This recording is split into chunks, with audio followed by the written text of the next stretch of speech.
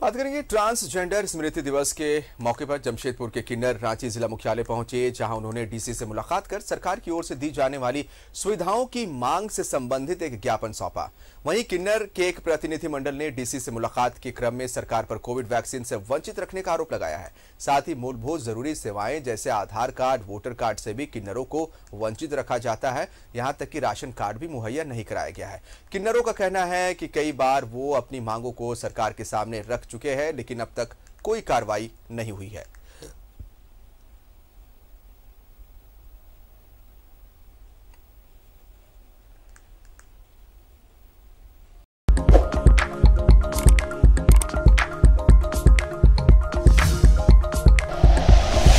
Like and share videos, subscribe करें हमारा channel और प्रेस करें बेल आइकॉन न्यूज़ 11 भारत सच है तो दिखेगा।